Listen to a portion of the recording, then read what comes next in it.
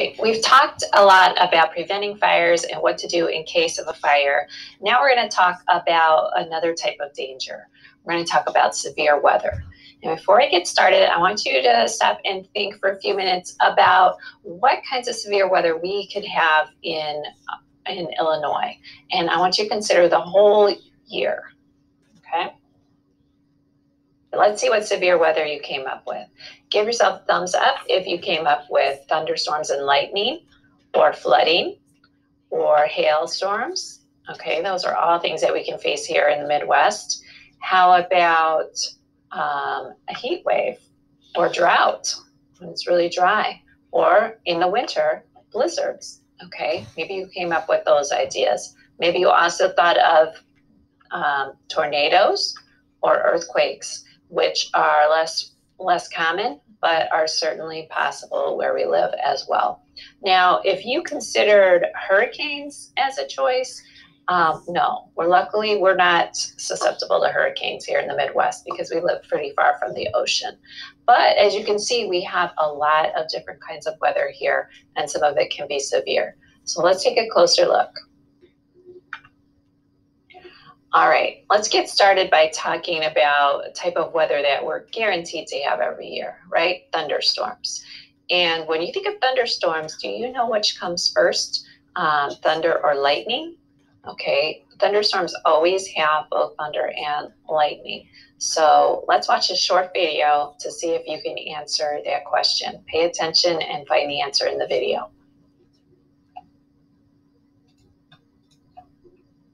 Most of the lightning takes place within the cloud, but some strikes the earth in bold flashes. In these cases, the charge escapes the cloud, making a branching path that reaches for the ground.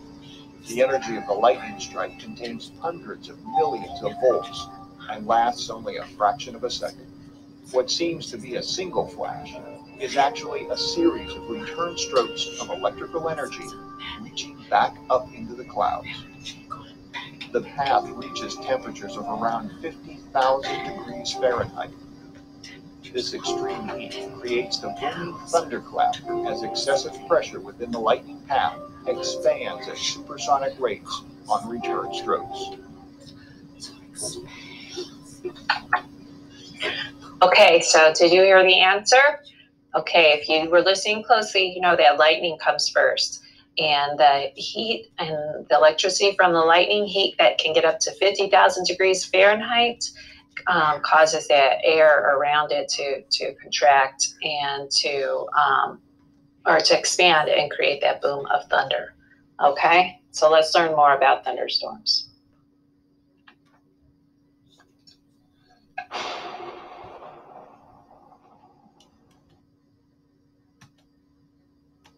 We don't want to get struck with all that electrical charge, right?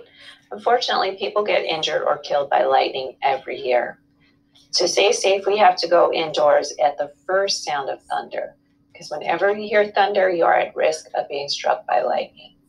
So get indoors. We definitely don't want to be around water or trees or metal like fences, because those things can conduct electricity.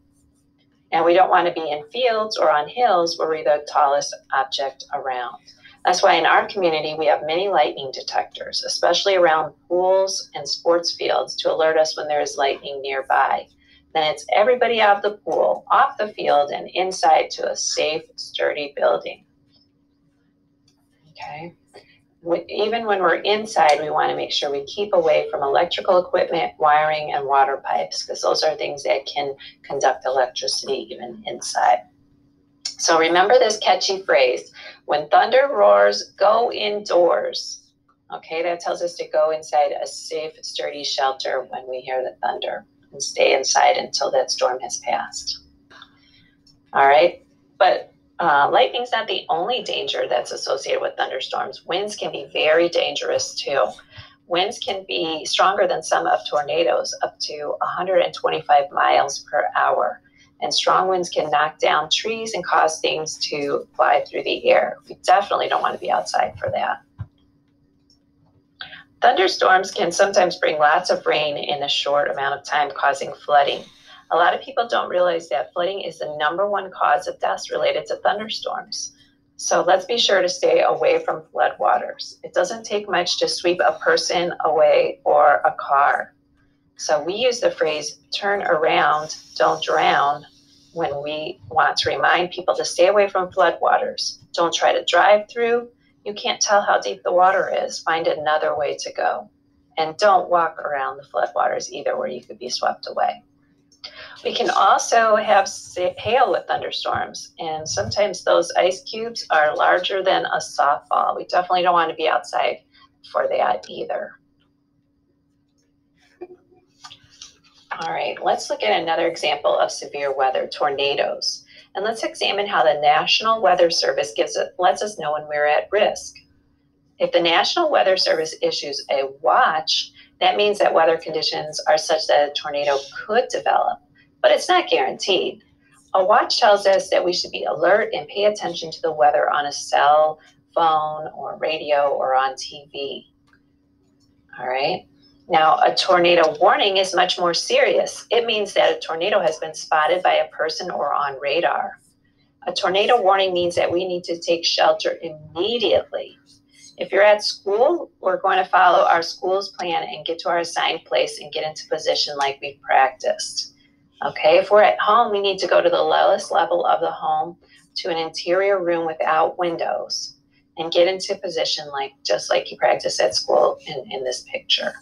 Now would be the best time to talk to your families about where you would go in case of um, a tornado. Where would be the safe place in your home? Everybody's may be different, okay, but you want, you want it to be on the lower level and away from windows that's best to prepare now so you'll know what to do ahead of time and know straight where to go in case a tornado warning comes up.